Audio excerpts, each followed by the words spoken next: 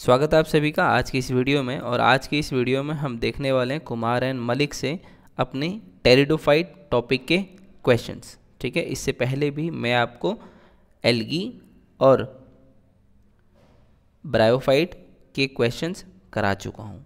Start करते हैं आज की वीडियो। पहला क्वेश्चन है वस्कुलर क्रिप्टोग्राम्स। जो क्रिप्टोग्राम्स होते हैं, क्रिप्टोग्राम्स वो होते हैं जिनमें ना तो फूल होता है और ना ही बीज बनता है।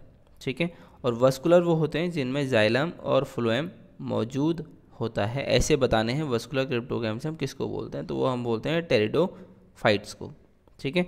जिनमें जाइलम फ्लोएम भी मौजूद होता है और ना तो इनमें फूल बनते हैं और ना तो इनमें बीज बनता है। अगला क्वेश्चन है टेरिडोफाइट्स आर टेरिडोफाइट्स क्या होते हैं? तो देखिए टेरिडोफाइट्स जनरली होते हैं हर्बेसियस हर्बेसियस मतलब उनकी टहनी क्या होगी? ग्रीन होगी। मतलब स्टेम जो है उनकी ग्रीन होगी और लचीली होगी, ठीक है? और कभी कभार इनकी स्टेम वुडी भी देखने को मिल सकती है। वुडी मतलब थोड़ा ब्राउन कलर की होगी हार्ड होगी। तो हमारा ऑप्शन नंबर बी करेक्ट होगा। Generally herbs rarely climbers and trees ठीक है? चलते हैं अगले क्वेश्चन की ओर। अगले क्वेश्चन में हमसे पूछा है which is regarded as as of pteridophytes as of pteridophytes कहने का मतलब है टेरिडोफाइट्स का युग। या हम बात करें कि किस समय वो इस पृथ्वी पर बहुत ज़्यादा संख्या में मौजूद थे। तो वो होते थे हमारे लेट पेलियोजोइक में। देखा जाए तो ऑप्शन नंबर सी करेक्ट होगा। बोटेनिकल स्नैक सारा। हम बोटेनिकल स्नैक जो है वो किसको बोलते हैं? तो देखिए, पहले बात कर लेते हैं स्नैक की। तो स्नैक आपका ऐसा होता है, ठीक है? मान लो ये आपका इस तरफ़ चल रहा है। ये जो सांप है, ये आपका इस डायरेक्शन में जा रहा है। तो वैसे ही ये है ज़मीन। और ज़मीन के ऊपर कौन रहते हैं? ये हमारे टेरिडोफाइट्स और ये भी इनके ऊपर ऐसे मतलब ज़मीन से चिपके हुए ही चलते हैं और इनमें ग्रोथ हमेशा आगे की तरफ़ होती है। ठीक है?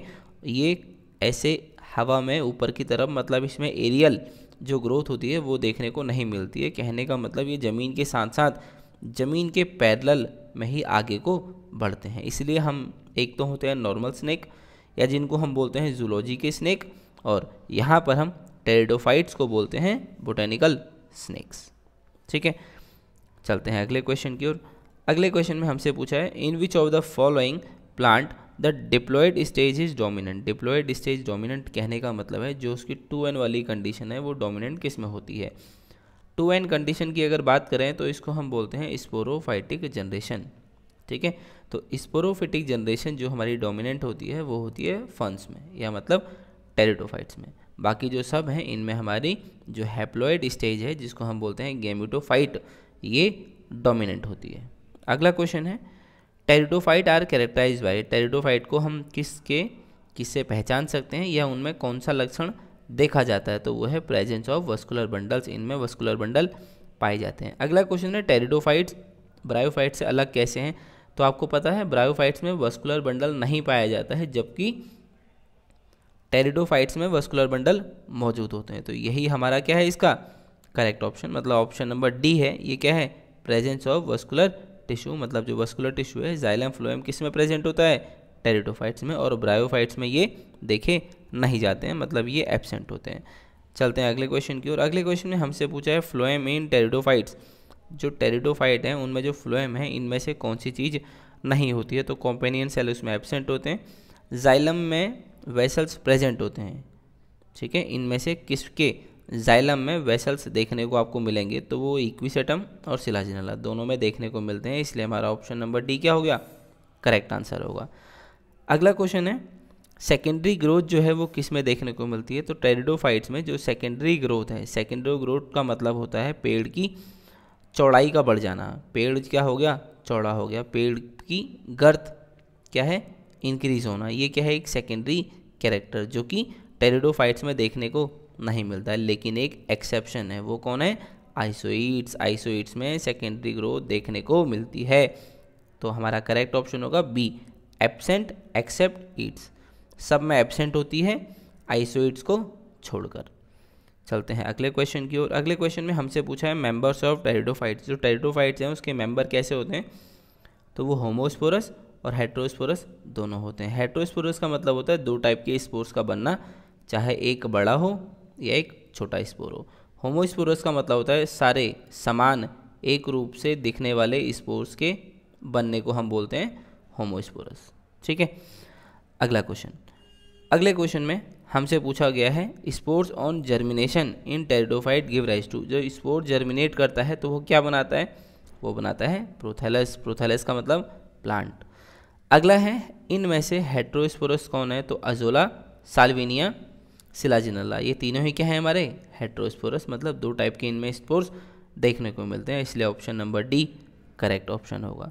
चलते हैं अगले क्वेश्चन की ओर। अगले क्वेश्चन में हमसे पूछा है जो हमारे सेक्स ऑर्गन हैं टेरिडोफाइट्स में, वो कैसे होते हैं? तो टेरिडोफाइट्स के सेक्स ऑर्गन एक तो मल्टी सेलर होंगे और उनमें जैकेट पाया जाता है, ठीक है? यही सेम कंडीशन हमको ब्रायोफाइट्स में भी देखने को मिलती है। ब्रायोफाइट्स के सेक्स ऑर्गन भी मल्टी सेलर होते हैं मतलब बहुकोशिकीय होते हैं और उनमें एक जैकेट पाई जाती है। तो मतलब multicellular and jacket option number C हमारा करेक्ट होगा। चलते हैं अपने अगले प्रश्न की ओर।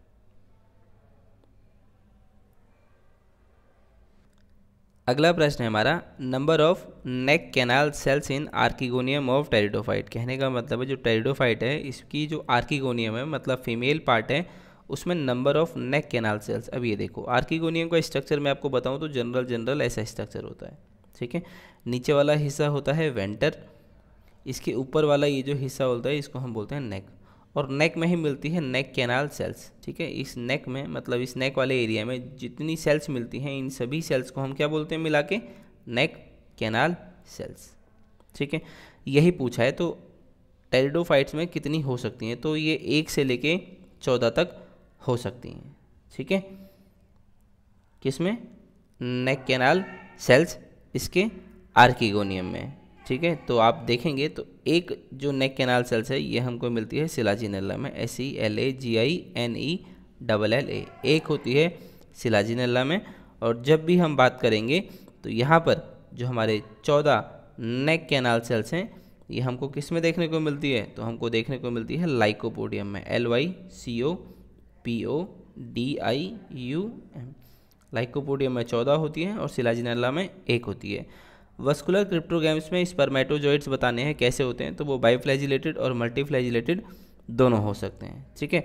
बायोफ्लैजिलेटेड सिलेजिनेला में होते हैं और जो हमारे मल्टीफ्लैजिलेटेड होते हैं, वो होते हैं फंस में, ठीक है? अगला है ऑल्टरनेशन ऑफ़ जनरेशन जो शब्द है, ये किसके द्वारा सबसे पहले इस्तेमाल किया गया है फन और मोसिस मोसिस मतलब ब्रायोफाइट के लिए तो हॉफ मिनिस्टर द्वारा ये शब्द प्रयोग किया गया है। ऑल्टरनेशन ऑफ़ जनरेशन का मतलब है, एक जनरेशन पहले आती है, उसी के बाद दूसरी जनरेशन आती है, जो इससे अलग होती है दिखने में। ठीक है? मान लो, अगर हम पहले स्पोरोफाइट की बात करें तो दूसरी जनरेशन क्या होगी? गैमिटोफाइट अगर हम पहले गैमिटोफाइट की बात करें तो दूसरी जनरेशन क्या होगी? स्पोरोफाइट ठीक है? एक जनरेशन के बाद दूसरी जनरेशन का आना, दिखना, इसी को हम बोलते हैं ऑल्टरनेशन ऑफ़ जनरेशन चलते हैं अगले क्वेश्चन की ओर। अगले क्वेश्चन में हमसे पूछा है the characteristic feature of eusporangiate type of sporangium कहने का मतलब है ई यू स्पोरेंजिए टाइप का स्पोरेंजियम डेवलपमेंट कैसा होता है? तो जब बहुत सारी ग्रुप्स ऑफ़ सेल्स बनाए क्या? स्पोरेंजियम और ये क्या हो? ये मल्टी लेयर्ड इसमें जैकेट हो।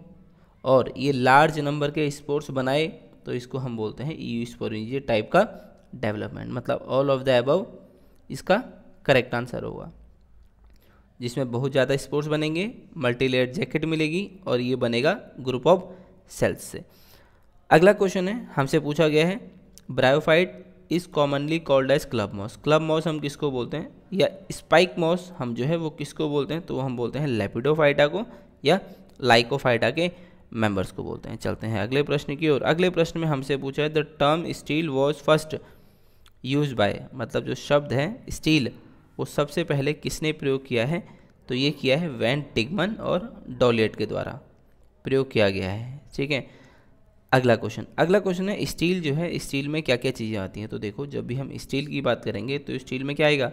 Xylem, phloem. स्टील में आता है हमारा एक तो जाइलम आता है और दूसरा आता है फ्लोएम। इसी के साथ साथ इसमें आता है pith P I T H pith इसी को हम बोलते हैं medulla M E D U double L A medulla बोलते हैं पिथ को। और पिथ के बाद जो आता है, इसमें आता है pericycle P E R I C Y C L E pericycle तो ये तीन चीज़ें जनरली आती हैं जाइलम फ्लोएम पिथ पेरीसाइकिल ठीक है? तो हम अपना ऑप्शन देख लेते हैं तो ऑप्शन नंबर सी करेक्ट होगा वस्कुलर टिश्यू पिथ पेरिसाइकल ये जो जाइलम फ्लोएम है, इसी को हम बोल देते हैं वस्कुलर टिश्यू भी बोलते हैं, और इन्हीं को हम बोलते हैं वस्कुलर बंडल्स तो इसलिए ऑप्शन नंबर सी करेक्ट होगा। चलते हैं अगले क्वेश्चन की ओर। अगले क्वेश्चन में हमसे पूछा है most primitive type of stele मतलब सबसे प्राचीन या सबसे पहले जो स्टील देखी गई थी, उसको हम क्या बोलते हैं या वो किसमें देखने को मिलती है तो वो होती है प्रोटो स्टील अगला क्वेश्चन है प्रोटो स्टील का कौन सा हिस्सा नहीं है? इनमें से जो हमारी प्रोटो स्टील होती है, उसका कौन सा हिस्सा नहीं है? तो जो पिथ होती है, ये प्रोटो स्टील का पार्ट नहीं होती है, ठीक है? स्टील का पार्ट होती है, लेकिन प्रोटो स्टील का नहीं होती है, ठीक? चलते हैं अगले क्वेश्चन के ऊपर। अगले क्वेश्चन में हमसे पूछा है protostele, protostele with pith वो प्रोटो स्टील जिसमें पिथ है, या पिथ का दूसरा नाम होता है मेडुला। तो मेडुलेटेड प्रोटो स्टील जिसमें मिलती है, उसको हम क्या बोलते हैं, ठीक है? तो इसको हम क्या बोलते हैं? सिफेनो स्टील बोलते हैं, ठीक है? अगला क्वेश्चन अगला क्वेश्चन है हमारे जो लीफ गैप के साथ जो स्टील किसमें पाई जाती है? स्टील विथ लीफ गैप वो स्टील बताओ जिसमें लीफ गैप देखने को मिलता है तो उस टाइप की स्टील को हम क्या बोलते हैं? तो इसको हम बोलते हैं फाइलोसिफोनिक ठीक है? फाइलोसिफोनिक स्टील अगला क्वेश्चन है हेट्रोस्पोरस टेरिडोफाइट्स ऑलवेज प्रोड्यूस मतलब हेट्रोस्पोरस हैं तो क्या बनाएँगे? दो टाइप के गैमिट्स ठीक है? और दो टाइप के गैमिट्स अलग अलग जर्मिनेट होते हैं। तो ठीक है तो उनसे क्या बनेगा? डायोसियस गैमेटोफाइट ठीक है मतलब दो अलग अलग गैमेटोफाइट बनेंगे। एक में होगा मेल और दूसरा होगा फीमेल ठीक है तो चलते हैं अगले क्वेश्चन की ओर।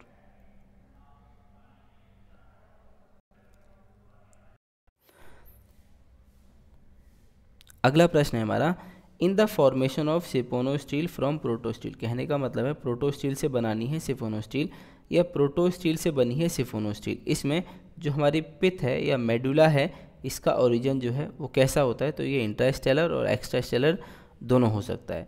अगला क्वेश्चन है टेरिडोफाइट का। जो जो ये हमारा टेरिडोफाइट है टेरिडोफाइट का जो मेगा स्पोरोफिल है, ये एनजियोस्पम के किस स्ट्रक्चर से कंपेयर किया जा सकता है? तो हमारा मेगा स्पोरोफिल जो है, वो हम कार्पेल से इसको कंपेयर कर सकते हैं, जो कि क्या होता है? फीमेल पार्ट चलते हैं अगले क्वेश्चन की ओर। अगले क्वेश्चन में हमसे पूछा है heterospory is the production of जो हमारी हेट्रोस्पोरी है हेट्रोस्पोरी का मतलब होता है दो टाइप के स्पोर्स का बनना। इसमें दो टाइप के स्पोर कैसे कैसे बन सकते हैं? तो लार्ज एंड स्मॉल स्पोर एक स्पोर लार्ज हो सकता है, एक स्पोर छोटा हो सकता है। तो मतलब ये दो टाइप के स्पोर्स बन रहे हैं, इसी को बोलते हैं हेट्रोस्पोरी अगला क्वेश्चन है, वो पहला फॉजिल टेरिडोफाइट बताओ, जो खोजा है सर विलियन डॉसन ने। ठीक है? तो वो राइनिया है, साइलोफाइटोन है, हॉर्नियोफाइटोन है या एस्टीरोजाइलोन है। तो हमको पता है वो क्या है? वो है साइलोफाइटोन जो कि खोजा है पहला फॉजिल टेरिडोफाइट जो खोजा गया है सर विलियम डॉसन के द्वारा। अगला क्वेश्चन है, इनमें से कौन सा फॉजिल टेरिडोफाइट नहीं है? फॉजिल बनते हैं या इसको हिंदी में बोलते हैं जीवाश्म। ठीक है? जीवाश्म जो होता है वो बनता है बहुत सालों के निरंतर प्रक्रिया के बाद। जिससे हमको पेट्रोल या कोल मिलता है मतलब कोयला और पेट्रोल इन्हीं से निकाला जाता है या इन्हीं से प्राप्त होता है। फॉसिल दो टाइप के होते हैं, एक होता है प्लांट सा, एक होता है एनिमल्स का। ठीक है, हमसे पूछा गया है, टेरिडोफाइट का फॉसिल कौन सा नहीं है? तो जो ये गाइनिया है, ये हमारे टेरिडोफाइट का फॉसिल नहीं होता है। ठीक है, चलते हैं अगले क्वेश्चन की ओर। अगले क्वेश्चन में हमसे पूछा है, एक रूटलेस है। रूटलेस मतलब जड़ नहीं है। लीफलेस है मतलब पतियाँ भी नहीं है। है वो टेरिडोफाइट और मिला कहाँ से? है राइनचर्ड बेड से डीनशायर स्कॉटलैंड से, जो कि है राइनिया। वो किसके द्वारा खोजा गया है? तो इसको खोजा है किडसन एंड लैंग के द्वारा खोजा गया है। कब खोजा गया है? 1913 में 1913 1913 में खोजा गया है। अगला प्रश्न है, टिलोम थ्योरी जो है, वो किसने दी है? ठीक है, टिलोम थ्योरी तो ये दी है जीमरमैन ने, ठीक है? कब दी है? 1930 में दी है। इस थ्योरी में था क्या? इस थ्योरी में यह था कि जो हमारे सिंपल स्पोरोफाइट होते हैं simple sporophyte S P O R O P H Y T E simple sporophyte से हमारे क्या बने हैं? कॉम्प्लेक्स स्पोरोफाइट अब समझो ये क्या है, ठीक है? सिंपल स्पोरोफाइट हमारा कौन सा होता है? या किसमें मौजूद होता है? वो होता है रिसिया में मौजूद होता है। आपने देखा होगा, रिसिया में क्या होता है? स्पोरोफाइट में सिर्फ़ कैप्सूल मौजूद होता है, ठीक है? इसमें फुट सीटा एबसेंट होता है। लेकिन जब आप कॉम्प्लेक्स स्पोरोफाइट में फ्यूनेरिया के बारे में पढ़ते हैं तो फ्यूनेरिया में जो पाया जाता है स्पोरोफाइट, उसमें फुट सीटा कैप्सूल, ये तीनों भाग मौजूद होते हैं। तो हम ये कह सकते हैं कि रिसिया में क्या है? सिंपलेस्ट और इसमें क्या है? फ्यूनेरिया में कॉम्प्लेक्स तो सिंपल स्पोरोफाइट से कॉम्प्लेक्स स्पोरोफाइट बनने की जो पूरी प्रक्रिया है, इसको समझने के लिए जो थ्योरी प्रयोग करते हैं, उसका नाम है टेलोम थ्योरी जो कि दी है जीमरमैन ने। चलते हैं अगले क्वेश्चन की ओर। अगले क्वेश्चन में हमसे पूछा है elaboration of simpler sporophyte into modern complex sporophyte मतलब सिंपल स्पोरोफाइट का बनना कॉम्प्लेक्स में। ये कौन सी थ्योरी एक्सप्लेन करती है।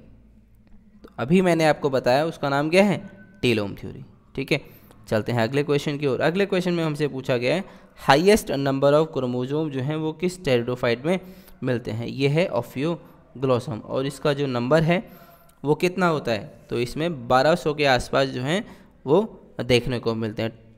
एग्जैक्ट बताऊँ तो वन टू सिक्स टू बारह इसमें देखने को मिलता है, जो इसका हाईएस्ट क्रोमोसोम नंबर है। और ये क्या है? Diploid two N is equal to बारह सौ बासठ। Two N is equal to one two six two अगला क्वेश्चन है, जो लिटल क्लब मॉस है, ये हम किसको बोलते हैं? लिटल क्लब मॉस ये हम बोलते हैं सिलाजिनेला को।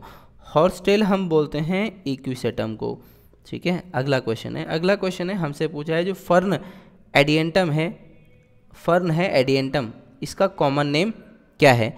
तो एडियंटम को हम बोलते हैं मेडन हेयर फर्न। एडियंटम को हम मेडन हेयर फर्न इसलिए बोलते हैं क्योंकि इसमें जो इसका पेटियोल होता है, वो काले कलर का होता है, बहुत चमकदार होता है और कैसा होता है? एकदम स्मूथ होता है, ठीक है? तो इसीलिए हम इसको बोलते हैं मेडन हेयर फन और ये विशेषता होती है इसमें इसके पेटियोल के द्वारा। अगला क्वेश्चन है वॉकिंग फन मतलब चलने वाला फन जो है वो हम किसको बोलते हैं? वो बोलते हैं हम किसको? एडियंटम कॉडन को ठीक है? एडियंटम कॉडम को हम बोलते हैं अपना वॉकिंग फन। ठीक है? वॉकिंग फन बोलते हैं एडियंटम कॉडम को अगला क्वेश्चन। अगला क्वेश्चन है, इनमें से हमारा रूटलेस फर्न कौन सा है? रूटलेस मतलब जिसमें जड़ नहीं पाई जाती है तो वो हमारा होता है साल्विनिया। साल्विनिया होता है हमारा रूटलेस फन। चलते हैं अगले क्वेश्चन की ओर।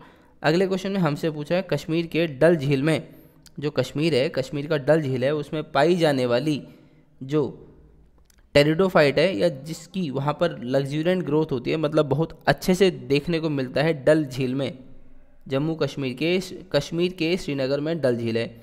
उसमें किसकी ग्रोथ सबसे अच्छी होती है? मार्शिलिया की, सालविनिया की, एडियंटम की, अजोला की। तो वो है हमारा साल्विनिया। सेल्विनिया की एक स्पीसीज है, साल्विनिया नेटन्स। इसकी जो ग्रोथ है, वो बहुत अच्छी पाई जाती है डल झील में। अगला क्वेश्चन है which is a xerophytic fern xerophytic fern हमसे पूछा है, ये हमारी कौन सी है? तो ये है हमारी वुड्सिया एलोंगेटा चलते हैं अपने अगले प्रश्न की ओर। अगला प्रश्न है, जो सबसे छोटा फर्न है मतलब स्मॉलेस्ट जो हमारा फन है, वो हमारा कौन सा होता है? वो है एनोग्रामा ठीक है? जो कितना होता है, वो चार से पाँच सेंटीमीटर होता है। चार से पाँच सेंटीमीटर अगला क्वेश्चन है टॉलेस्ट टेरिडोफाइट या टॉलेस्ट फन जो टॉलेस्ट फन है, वो कौन सा है? वो है साइथिया, जो हो सकता है बीस फुट तक। ठीक है? जिसकी लंबाई बीस फुट तक हो सकती है। अगला क्वेश्चन है हेट्रोस्पोरी मतलब दो टाइप के सीड बनना और सीड हैबिट मतलब सीड हैबिट मतलब होता है सीड बनने की शुरुआती प्रक्रिया। जो सबसे अच्छी किस्में देखी जा सकती है तो वो है हमारा सिलाजिनल्ला अगला क्वेश्चन है रिसरेक्शन प्लांट जो है, वो हम किसको बोलते हैं? तो वो हम बोलते हैं सिलाजिनल्ला लेपिडो फाइला को ठीक है, चलते हैं अगले क्वेश्चन की ओर। अगले क्वेश्चन में हमसे पूछा है सिलाजिनल्ला हैज़। सिलाजिनल्ला में क्या होता है? तो सिलाजिनल्ला में दोनों टाइप की लीव पाई जाती है, डायमोर्फिक भी और आइसोमोर्फिक भी। इसलिए ऑप्शन नंबर सी करेक्ट होगा। अगला क्वेश्चन है सिलाजिनल्ला में लीफ के बेस पे मतलब लीफ की जड़ से जो बाहर को जो ग्रोथ होती है या आउट ग्रोथ निकलती है, उसको हम क्या बोलते हैं? स्टाइप्यूल, वेलम, लिग्यूल या ट्रेबिक्यूली तो हम इसको बोलते हैं लेग्यूल, ठीक है? और जो इसकी ग्रोथ होती है, वो होती है अडेक्सियल साइड पे। A D A X I A L adaxial side पर इसकी ग्रोथ होती है, ठीक है? चलते हैं अगले क्वेश्चन के ऊपर। अगले क्वेश्चन में हमसे पूछा है, लीव्स इन सिलाजिनला। सिलाजिनला की जो पत्तियाँ हैं वो कैसी होते हैं? तो देखिए ऑप्शन सिलाजिनला की जो हमारी पत्तियाँ होती हैं, वो होती हैं सेसाइल सेसाइल होती हैं ओवेट होती हैं लेंसियोलेट होती हैं एक्यूट अपेक्स पाया जाता है और सेंट्रल में मिलती है अनब्रांच मिड्रिप जो मिड्रिप होती है, वो ब्रांच नहीं होती है तो ऑप्शन नंबर बी हो गया हमारा करेक्ट अगला क्वेश्चन है, एक जो मैच्योर लिग्यूल है, जिसमें प्रोमिनेंट बेसल पोर्शन होता है, उसको हम क्या बोलते हैं? तो इसको बोलते हैं ग्लोसोपोडियम ठीक है? ऑप्शन नंबर सी हमारा करेक्ट होगा। अगला क्वेश्चन है, एक leafless colourless positive geotropic organ है, जो बनता है point of bifurcation of system जहाँ पर स्टेम बाइफर्केट करती है मतलब डिवाइड होती है, वहाँ पर बनता है, जिसमें पत्तियाँ भी नहीं हैं, कोई कलर भी नहीं है। तो इस स्ट्रक्चर को हम क्या बोलते हैं? इस स्ट्रक्चर को हम बोलते हैं राइजोफोर ठीक है? तो हमारा ऑप्शन नंबर जो डी है, वो क्या होगा इसका? करेक्ट आंसर होगा। चलते हैं अगले क्वेश्चन की ओर। अगले क्वेश्चन में हमसे पूछा है सिलाजिनल्ला प्लांट एज जो हमारा सिलाजिनल्ला है, इसका जो प्लांट है, वो कैसा होता है? हेट्रोस्पोरस दो टाइप के स्पोर बनते हैं। सिलाजिनल्ला का जो राइजोफोर है, वो क्या है? ये होता है ऑर्गेनिशियू जेनेरिस ठीक है? ऑप्शन नंबर सी हमारा करेक्ट होगा। राइजोफोर जो होते हैं किसमें मौजूद नहीं होते हैं? ठीक है, हमसे पूछा है किसमें मौजूद नहीं होता है। तो सिलाजिनल्ला कस्पिडा में ये मौजूद नहीं होते हैं, या इनमें पाए नहीं जाते हैं। ये इनके बारे में कोई जानकारी नहीं है इनमें। ठीक है? तो चलते हैं अपने अगले क्वेश्चन की ओर। अगले क्वेश्चन में जो हमसे पूछा गया है, वो पूछा गया है root like character root like character of rhizophore is not जो जड़ के जैसा कैरेक्टर रखता है राइजोफोर वो इनमें से क्या नहीं है? तो वो एक्जोजिनस ओरिजिन उसका नहीं पाया जाता है। ठीक है? एक्सोजिनस ओरिजिन जो उसके लिए बात है, ये गलत है। ठीक है? चलते हैं अगले क्वेश्चन के ऊपर। ठीक है? अगला क्वेश्चन है ट्रेबिक्यूलेटेड जो हमारी एंडोडर्मिस होती है ट्रेबिक्यूलेटेड एंडोडर्मिस जो होती है, ये किसका कैरेक्टरिस्टिक है? ये है सिलाजिनेला का कैरेक्टरिस्टिक अगला क्वेश्चन है सिलाजिनेला में जो स्टेम है स्टेम में पाई जाने वाली जो स्टील है, वो कैसी होती है? तो ये होती है हमारी, एक तो होती है डाईआर्क और एक्सार्क पाई जाती है। अगला क्वेश्चन है राइजोफोर जो पाया जाता है सिलाजिनल्ला में, उसमें स्टील कैसी मिलती है? तो उसमें स्टील कैसी मिलती है? उसमें हमें देखने को मिलती है जो हमारी वो होती है, क्या? स्टील वो होती है एक तो मोनार्क और एग्जार्स ठीक है? तो ऑप्शन नंबर ए होगा हमारा करेक्ट आंसर तो ये थे क्वेश्चंस इस वीडियो में। यहाँ से आपके क्वेश्चंस आने की संभावना है, अतः आप इन क्वेश्चन को अच्छे से पढ़ लें, समझ लें या याद कर लें, ठीक है? हो सकता है इन तीनों में से कोई क्वेश्चन अब आपको आपके आने वाले एग्ज़ाम में देखने को मिल सकता है, ठीक है? तो आज के वीडियो में इतना ही, बाकी मिलते हैं आपसे अगले वीडियोज़ में।